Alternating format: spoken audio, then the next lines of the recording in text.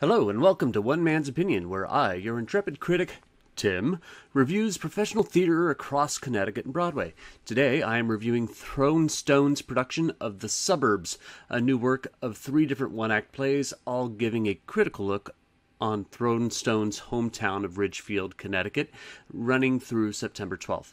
Directed by Kholoud Sawaf, my apologies if I messed up your name. Uh, the Suburbs isn't staged at Thrown Stone's actual theater at 440 Main Street. Instead, it is set at three different locations where the audience will be required to trek from one location to the next to view all three parts. I'll discuss all three pieces in order of how they are viewed. The first play and education how to confront the classics is written by catherine yu and is presented in the garden of the keeler tavern museum. It stars ian michael minh as federico bridget ann white as clarisse and will jeffries as bob. Of the three pieces this one for me is the biggest mess. Uh, one thing to understand is that all three of these one act plays are no more than 30 minutes long, and an education suffers the most from its minimal runtime. The play takes place at a discussion panel for Ridgefield's Board of Education, where the three characters debate the continued need for Latin studies in high school. Now, Federico has at least one PhD in Latin studies and or languages and is looking to expand Latin studies to incorporate the influence of the Roman Empire on non-Western civilized countries. Uh, meanwhile, Clarisse and Bob have their own objections. Much of the problem with an education is that the characters, especially Clarisse and Bob, are extremely one dimensional. Bob doesn't see the reason for this expansion, there's no pertinence to it. Meanwhile, Clarisse seems so focused on women's studies and the abolishment of the patriarchy, it feels like she's in an entirely different play. An education feels incomplete. The characters have no development. There is no motivation as to why they feel the way they do, beyond the fact that they're white and there's no communication in their conflict. It's just belligerent bloviating, uh, which I can get by turning on Fox News.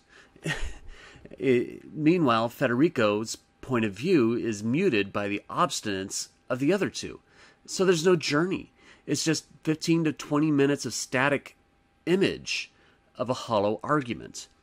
Now, as a news reporter, I have been to a number of town council meetings and board of education meetings, and yes, these meetings can end up like this, but there's no dramatic weight in it. Also, it was apparent that some of the actors weren't fully confident in their dialogue.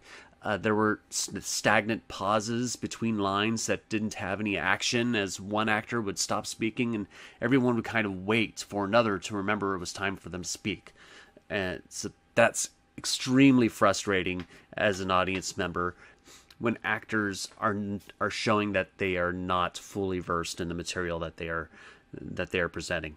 After its abrupt ending, because the play does have a very abrupt stop, and everybody's like, "Oh, is it over?" The audience at the end of an education picks up their chairs, and yes, you do have to bring chairs to this production. And you are escorted about half a mile to the Aldrich Contemporary Arts Museum, where play number two, The Caterers by Tony Meneses, is presented. I really like this one. For some reason, that is not entirely explained. The Caterers is set in 2030 and starts with following the hijinks of a team of caterers, which is great, who are in the middle of serving an engagement party. and all five of them are really enjoyable and fantastic. Uh, they have exuberance and individual colors about their characters. And and I'm not just talking about their brilliantly colored outfits uh, they're required to wear to wear as servers of the party, but their their actual uh, nuances that each of them have. It's really enjoyable. And then when a young woman, Josephine, played by Nell Kessler, arrives, uh, Garcia, one of the caterers, played by Maya Carter, assumes that she is a stand in for a caterer who didn't show up. Uh, the two quickly form a bond as the party goes forward. Now, Meneses has written actually a really touching, bittersweet piece of love and melancholy. Uh, there was a bit of a stretch of suspension of disbelief with some of the spontaneity of Garcia in particular, but as the play moves forward, it isn't entirely unbelievable that she would take the leap that she does in this piece. Of the three, it is the best of the different one acts that is being presented in the suburbs. And once the caterers end, the audience strikes up again, grabs your chairs, and you head out to the front lawn of West Lane Inn, uh, which is about another half mile away, uh, where the third and final play is presented called Should We Dance Instead by Phanesia Pharel. Should We Dance Instead is a ghost story, uh, maybe not so coincidentally set at the inn. It starts with Marem, played by J- Jeffries again, who played Bob in an education in the first piece. Marem is visited by the spirits of Uncle Ned Armstrong, played by Tenisi Davis, and his wife Betsey, played by Nedra Snipes. Now, the two ghosts are advocates for Ned's Hill, which is a real property up in, in Ridgefield, and uh, it's a location where the Underground Railroad had stopped. They're telling Marem, who is a member of Ridgefield's Planning and Zoning Commission, at least in the play, anyways, uh, to save this farmland and preserve it as a historical land site. the problem is, is that the property is up for sale for $28 million. Now, like in education, Should We Dance Instead doesn't have a clear resolution, but in this case it works, uh, mostly due to the impassioned performances by Davis and Snipes, who elevate Pharel's dialogue uh, to challenge not only Marem but the audience to escape greed and apathy and look beyond our comfort zone. Now, I would have liked to have seen more conflict between Marem and the Armstrongs, or maybe involve another party in in the story to instigate the conflict a little more.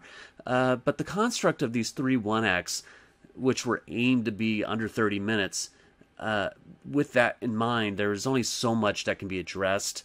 Uh, so maybe if Pharel wants to expand the piece into a larger play, that would benefit it a lot. But one of the problems with it is is that the play is also very timely. Now, though I do admire Thrown Stone's well stones for addressing the social cultural issue of the town of Ridgefield and what it's dealing with, makes them very immediate. It causes them to risk aging poorly uh, due to the limited timeliness of the stories.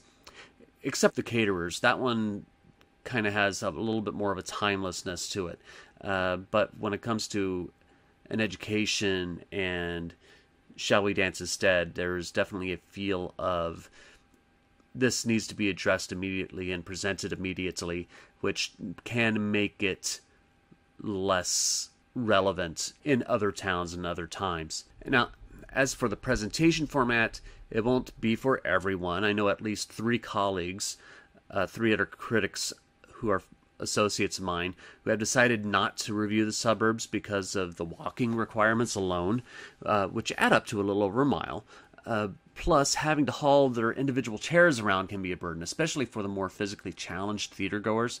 If Thrown Stone has a mode of assisting these audience members, it needs to be more pronounced in their publicity so the audience members don't decide to just skip it. There is some good stuff here. Uh, Shall We Dance Instead does have a really strong message. It and uh, the caterers is a really enjoyable piece. There is motivation and reason to go see these one act plays. I just wish that the ingenuity of the suburbs wasn't so much that it became problematic for people with mobility issues. So, that's one man's opinion of the suburbs. Leave yours in the comments below.